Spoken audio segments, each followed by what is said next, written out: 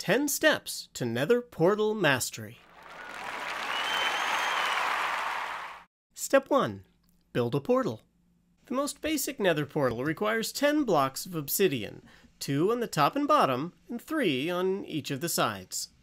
You can use something less valuable for the corners of your portal, and your portal will work just fine. You can also build your portals up to 23 by 23, but that's, that's just, just, flexing. flexing.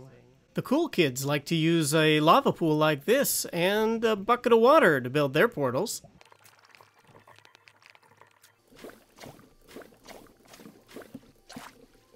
And there you go. But if you're just starting out, pour some water on some lava, get yourself a diamond pickaxe, and start mining it up. Light it with a flint and steel, and you've got your first nether portal. Congratulations! Step 2. Once you make it, break it. The first time you walk through a nether portal, Minecraft will place a connected portal in the nether. Hey buddy. But it won't place that portal in the correct place. And by correct place, I mean if you try to place other portals in the overworld, they'll be all wonky and won't connect right. So before you head into the nether, take the x and z coordinates of your portal in the overworld by pressing F3. Divide those numbers by 8 then move your nether side portal to the correct coordinates. This is called properly linking your portals. Do this. You'll thank me later. Step 3. Go really far. Every block you walk in the nether is 8 blocks in the overworld. That might not seem like much, but it means the distance from this portal to this portal in the nether is the distance from this portal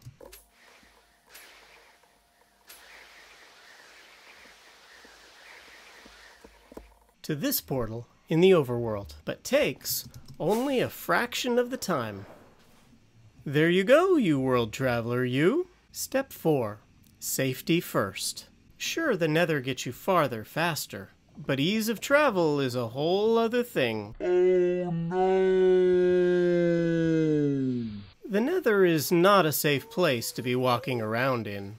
Sure, you could build yourself protected glass tubes all through the nether, or you could do what many Minecrafters do and build up here under the nether roof. Throw down some carpets and lighting, and you've no more fear of traveling in the nether. Step 5. Get really high.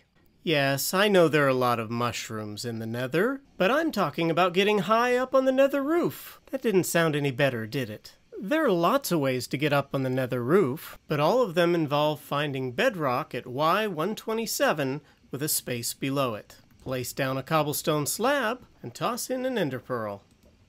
You'll think you're stuck, but a quick jump and you are safely on the nether roof. There are lots of cool farms you can build up here. I hope you brought some obsidian for another portal. Step 6.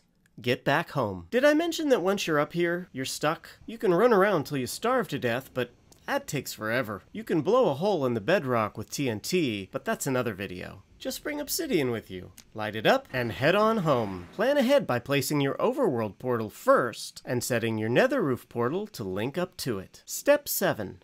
Populate your portals. The trick to adding new portals is to build them first in the overworld, but don't go through it. Take its coordinates, light it up, but then go through your already existing portal to place your new portal in the nether. If you placed it correctly, when you head on through, you'll be right back where you started, and all linked up. Step 8. Go vertical. Lots of people know the divide by 8 rule, but what few people know about are y-coordinate midpoints. Using these, you can use nether portals to travel up or down in your world. Imagine you have a mountain base or tall tower that you want to be able to get to the top and bottom of. Or say you have a base on the ground and a spaceship up in the sky. Let's be honest.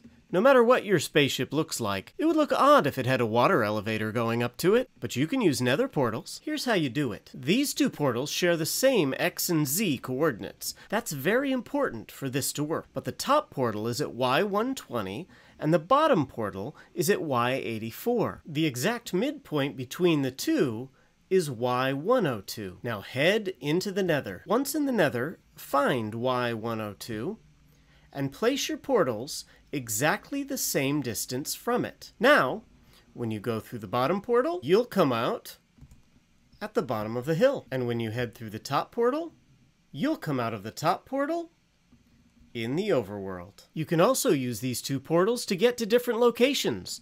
One could take you to the roof of the nether, and the other to your hub underneath the roof. Just remember to keep the portals the same distance from the Y midpoint coordinate. Step 9. Exploit the system. now let's get crazy and use the fact that Minecraft is terrible at linking its own portals. Remember these two portals we built in step 8? Of course you do. We just did that. Well, what do you think will happen if we place a portal above the Y point coordinate, but in between the two other portals? Let me show you. It doesn't create a new portal, but rather brings us out at the top portal. Why does that matter? Well, imagine the top portal was on the nether roof and you couldn't access it from inside your nether hub. You could get into the lower nether, maybe another fortress or a bastion, but then have the second portal as a quick way to go out into the overworld to the top of the mountain, but then when you go back in, it doesn't take you to the middle portal. That's down there it takes you to your top portal, i.e., the nether roof. So play around with this idea and let me know other ways you find to exploit the system. Step 10.